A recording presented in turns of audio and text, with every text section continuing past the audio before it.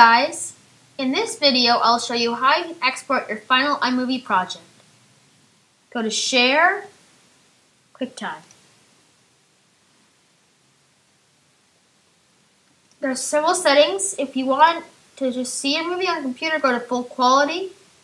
If you want to put it on YouTube, just full quality. You can upload on, on YouTube and stuff.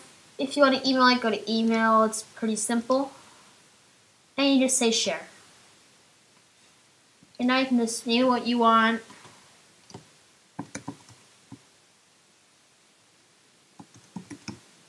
And you say save. Now we have export our file. Just just quit iMovie, save, and you can see your your movie right on the desktop. And you can just play it by either double clicking on it and just play.